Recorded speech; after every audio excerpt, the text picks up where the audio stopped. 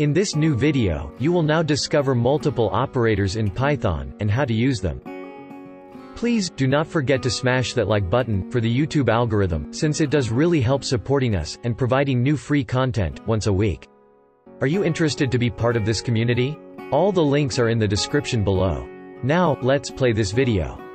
Types of operators. Depending upon the type of operations you want to perform, there are seven types of operators in Python. Arithmetic operators. Assignment operators. Comparison operators. Logical operators. Bitwise operators. Identity operators. Membership operators. Python language offers some special type of operators, like the identity operator or the membership operator.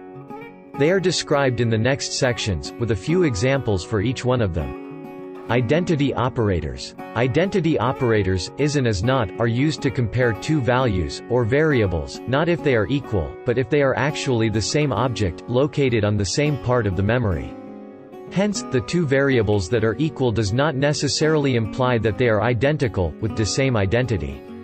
Here is an example of two objects that are equal, but not identical, x and y both refer to objects whose value is 5, they are equal.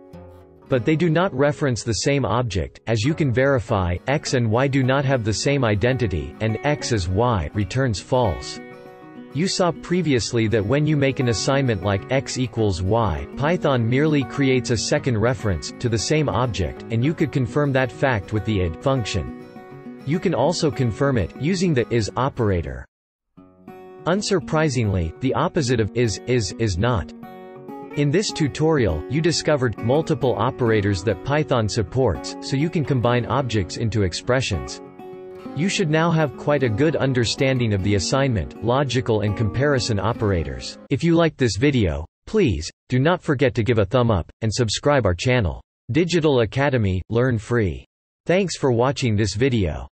Please subscribe. Hit the notification bell. Like, comment, and share.